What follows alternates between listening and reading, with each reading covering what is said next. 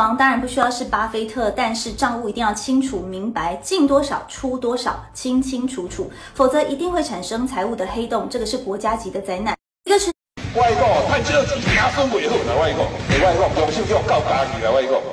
国家要正常，第一步哦，就是选出正常的人，安得了？我那边讲讲啊，什么多伟大的什么什么，哦，我白听了，是吧？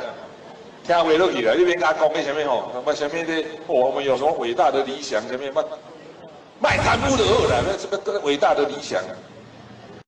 外国太少钱，拿分袂好啦，外国，外国用信用告家己啦，外国。国家要正常，第一步哦，就是选出正常的人，安得了？我那边讲讲啊，什么多伟大的什么什么，哦，我白听了，是吧？